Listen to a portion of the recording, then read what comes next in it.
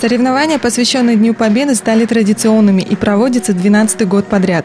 Турнир открыли выступления почетных гостей, а после поднятия российского флага капитанами команд начались поединки.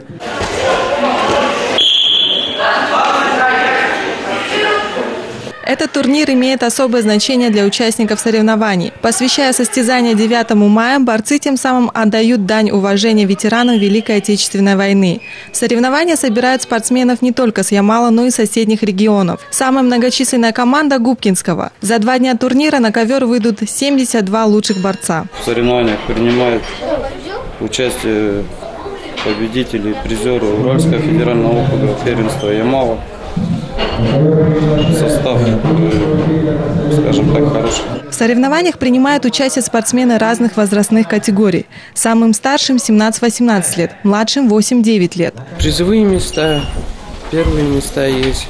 Также на всероссийских занимал некоторые места, третьи. Несмотря на противостояние сильных соперников, губкинские спортсмены не уступают и уверенно идут к победе. Ну, в моем весе, я думаю, я всех выиграю. В этом году в соревнованиях приняли участие 127 спортсменов. Поддержать своих друзей и родственников пришли немногочисленные болельщики. За Губкинский, за мой город. И пока что все идет нормально. Пока неплохо, все вроде бы, все борются еще.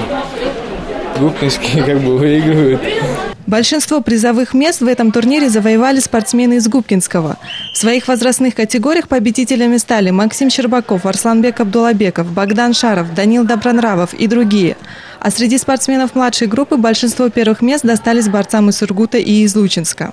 Тинатина Манканова, Сергей Магарчан, Новости Губкинского.